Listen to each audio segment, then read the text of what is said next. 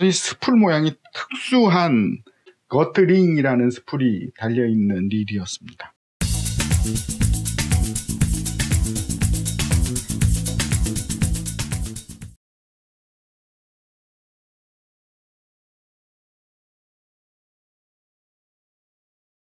조박사의 피싱 랩입니다. 일본에 잘 알려지지 않은 릴 메이커가 하나 있습니다. 이스즈라는 브랜드입니다. 실은 이 이스즈라는 브랜드는 굉장히 오래된 릴 메이커예요. 현존하고 있는 일본 내 최고 오래된 릴 회사입니다. 바로 이 릴인데요. 이게 이스즈 릴에서 가장 작은 420 BC421SS 빈티지 모델이에요. 음, 도구 맞습니다. 릴 메이커를 전 세계적으로 좀 이렇게 부류로 좀 나눠 보겠습니다. 2023년 현재 릴을 만드는 회사를 이렇게 분류를 해보면 크게 세 부류로 나눌 수가 있어요. 첫 번째가 종합조구회사 3사. 자, 여러분 잘 아시는 다이와 시마노 거기에 대만의 오쿠마까지 합쳐서 종합조구회사에서 대량 생산, 대량 소비시키는 그런 일입니다. 이 세 3사의 릴은 다른 메이커가 범접할 수 없는 뭐 초일류라고 말씀드릴 수 있죠. 규모와 품질 면에서도 그렇습니다. 그 다음에 이제 또 두 번째 부류의 아, 두 개의 미국 회사가 있어요. 여러분 잘 아시는 퓨어 피싱이라는 데가 있고 또 하나가 아, 레더 아웃도어즈라는 데가 있습니다. 퓨어 피싱 아래에는 여러분 뭐 들으면 다 알 만한 브랜드들이 막 엄청나게 많이 포진해 있어요. 펜, 아부가르시아, 미첼, 플루거, 세익스피어, 뭐 하디, 핀노, 반스탈 뭐 이런 것들이 다 들어가 있고 아 라더 아웃도어즈에는 세 개의 브랜드 있습니다. 제부코, 다음에 퀀텀, 그다음에 류라는 브랜드들이 있어요.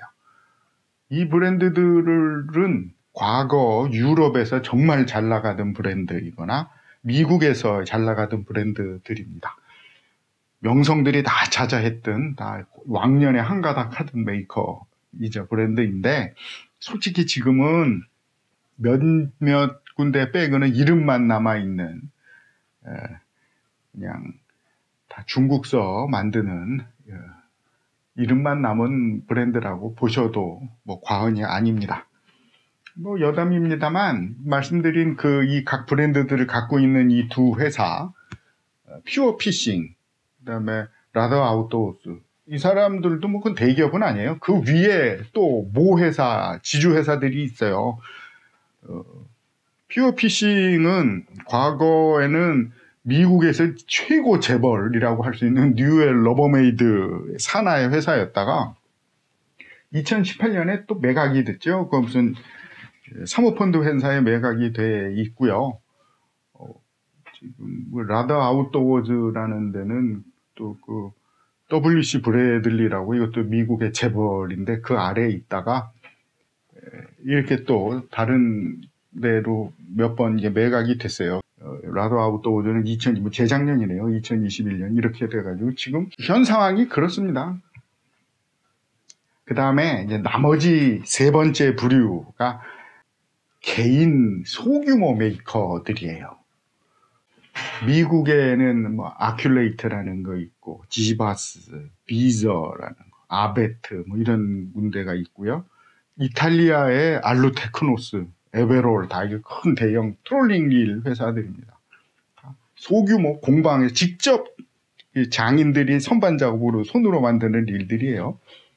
그리고 일 지금 오늘 소개하는 그 일본의 이스즈도 바로 이런 브랜드예요. 공방에서 만드는 릴입니다. 숙련된 장인이 만드는 릴이라고 생각하시면 되겠습니다. 이스즈는 1949년에 창업했다고 그래요. 처음에 말씀드린 대로 일본에서 현존하는 가장 오래된 릴 메이커입니다. 원래는 일본에서 가장 먼저 릴을 만든 거는 1931년인가 올림픽에서 최초로 일본에서 릴을 만들었습니다. 근데 올림픽은 없어졌죠. 그 회사가 현존하지 않습니다. 네, 이스즈는 1949년에 창업을 해서 아직도 현존을 해요. 일본의 도쿄 바로 위에 북쪽에 사이타마 현이라는 지방이 있습니다만 여기가 신기하게 조구 업체들이 본거지가 많아요. 전통 대나무 낚싯대 공방도 꽤 사이타마 현에 많은 걸로 알고 있습니다.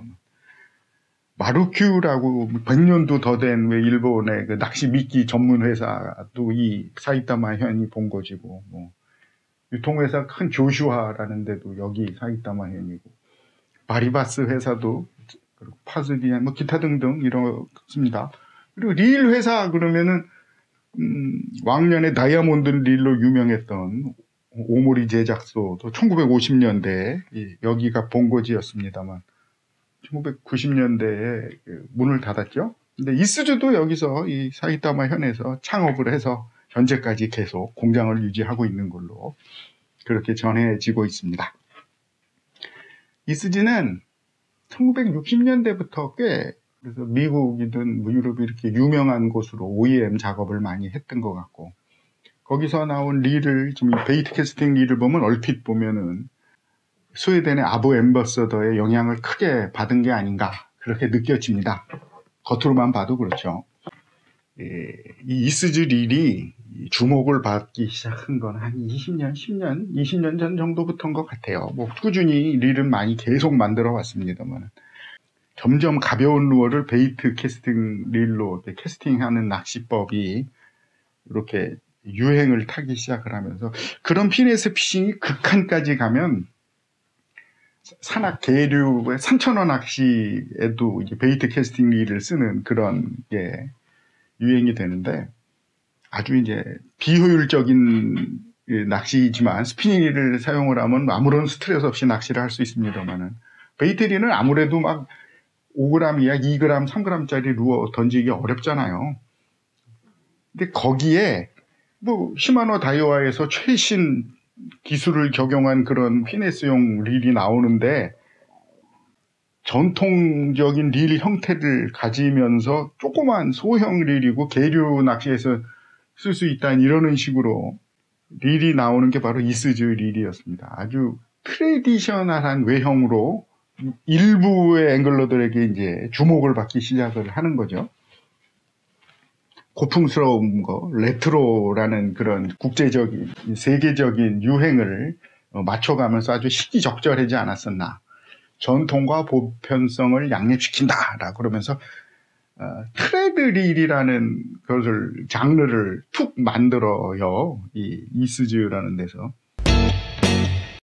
음, 특징을 보면 에, 이 synchro level wind인데요. 캐스팅 할때 시마노 다이와처럼 level wind가 딱 스톱하는 게 아니라 계속 같이 움직이는 synchro level wind고요.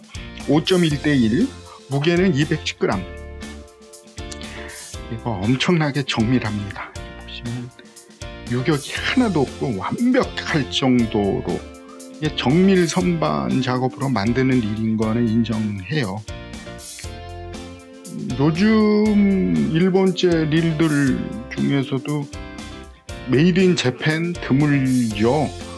그 최고급 high class 제일 비싼 릴들만 made in Japan이고 전부 다 제 3국에서 만드는데 개인 브랜드 릴이니까요. 그 그런 유일한 일본에서 만드는 릴인지도 모르겠어요. 이 모델은 조금 한정 생산 모델이었어요. 빈티지 중에서 스풀 모양이 특수한 거트링이라는 스풀이 달려있는 릴이었습니다. 조과에 연연치 않고 사용을 하신다면 재미있게 기분으로 멋으로 사용을 하실 수 있을 것 같아요. 낚시는 미학 뭐 이런 이야기를 과거에도 몇 번 드린 적이 있지만 그렇게 쓰는 릴이라고 이해를 해 주십시오. 이런 낚시의 멋, 뭐 낚시의 맛 그런 것 때문에 소유욕을 불러일으키는 거는 확실합니다. 잠깐 열어보면요. 이렇게 나사를 세 군데 풀면 뭐 열리는 건 다른 뭐 제품하고 다를 게 하나도 없습니다.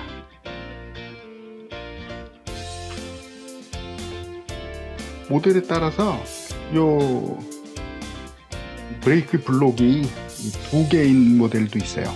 이 거트링은 네개 달려 있습니다.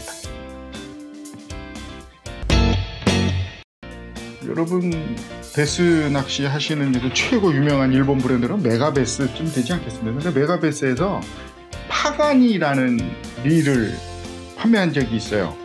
요즘도 이렇게 판매를 하나 모르겠습니다만 뭐그 파간이라는 릴이 이스즈 릴입니다.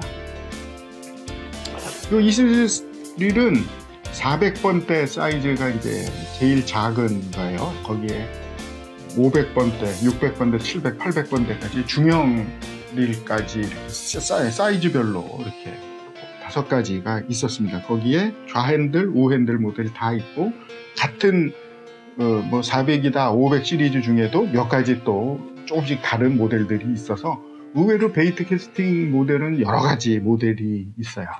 에... bait 캐스팅 릴, 이 traditional한 모양 bait 캐스팅 릴 이외에 실은 이 이스즈는 closed face 릴하고 스피닝 릴도 어, 몇 모델을 생산한 실적이 있습니다. 현재는 안 만들고 있고 몇 년 전까지 만들어서 판매를 한 것 같아요. 그래서 스피닝 릴은 in스풀 형태로 해서 좀 full metal로 해가지고 소형 릴인데 한 300g쯤 나가는 좀 묵직한 릴을 어, 내놓은 적이 있습니다. 몇몇 모델을. 어, 현대 다른 릴하고를 익숙한 분들은 사용하기 좀 어려운 그런 좀 그런 릴이었어요. 아마 이 bait 캐스팅 릴을 이용해서 그 traditional 릴이라는 그런 유행을 이렇게 이루어냈던 것처럼 closed face 릴하고 스피닝 릴로도 아마 아, 그런 쪽으로 좀 확장을 해보고 싶었었는지도 모르겠습니다만 그거는 실패를 되고 다 단종이 됐어요. 현재 그나마 이제 인정을 받고 있는 이 bait 릴에만 집중을 해서 만들고 있는 것 같습니다. 실은요, 아, 이, 이수즈는 2020년에 코로나 사태로 인해서 실은 문을 닫는다고 폐업을 하려고 했었습니다. 그랬는데 이, 이 일을 엄청 좋아하는 다른 그 회사의 그 오너가 이스즈를 인수를 했어요. 그래서 지금 현재 그 바뀌고 사장이 바뀌면서 어떻든 이 이스지리를 끌고 가고 있는 중인 걸로 저는 알고 있습니다. 저도 이 일을 뭐 이스지리를 어쩌다 보니까 이제 이 한 대 갖고 있는 건데 아, 이게 보면 아까 말씀드린 대로 유격이 하나도 없이 엄청나게 정밀하게 잘도 만들어 놨어요. 그건 인정합니다. 야, 이거는 그냥 막 찍어낸 게 아니라 보통 기술로 만든 게 아니라 엄청난 숙련 선반공이 만든 릴인 거는 인정할 정도예요. 근데 이제 bait finesse라든가 뭐 계류용 bait라든가 그런 데 사용하려고 했지만 에, 이게 튜닝 스풀을 사용하지 않으면 다른 회사에서 이 릴용으로 만든 유명한 뭐 어베일이라는 회사 있잖아요. 거기서 나오는 튜닝용 스풀을 장착하지 않는 한 5g 이하 루어를 솔직히 캐스팅하지 못한다가 맞아요. 이 순정 스풀은 스풀 무게만 23g에 육박합니다. 무거워요. 그러니 가벼운 루어를 던질 수가 없죠. 백래시가 날 테니까. 뿐만 아니라 이 릴이 사이즈는 참 귀엽고 계류용으로 적합한 것 같은데 이 기어비가 5.1대 1이거든요. 보통인데 너무 작다 보니까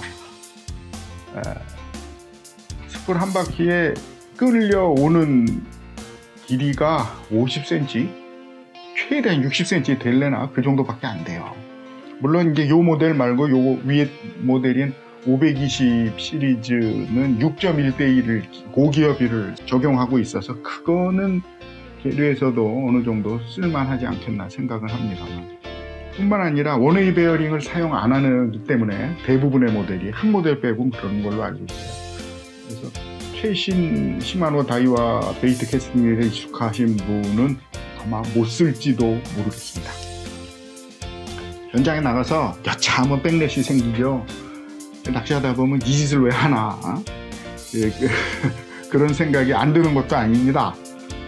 그런데 말씀드린 대로 낚시는 미학이라는 그런 관점에서 본다면 이게 자꾸 사용하고 싶어지는 그런 릴인 것도 맞아요. 그런 매력은 있습니다. 아주 이게 성인적인 릴이에요. 49금 릴이라고 그럴까?